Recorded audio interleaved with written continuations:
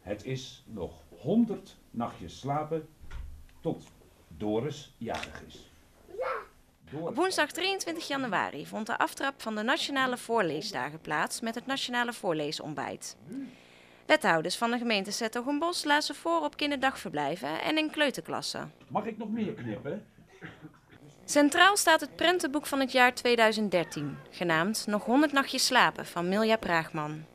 Voorlezen prikkelt de fantasie van kinderen en ontwikkelt het taalgevoel, maar het bezorgt ze vooral heel veel plezier. En knipt, knipt en knipt. Om het voorlezen te stimuleren zijn er diverse projecten in Zettogenbos. Zo kunnen ouders van pasgeboren kinderen in de bibliotheek een koffertje ophalen met een eerste boekje voor een baby. Je kan nog niet vroeg genoeg beginnen.